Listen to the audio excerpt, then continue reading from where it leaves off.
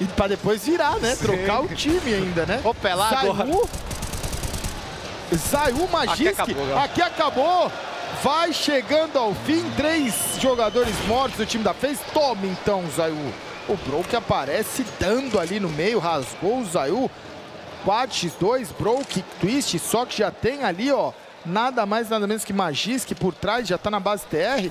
No bombe da B tem o Spinks ali de MP Fotos no BTT. Twists vai passando, ó.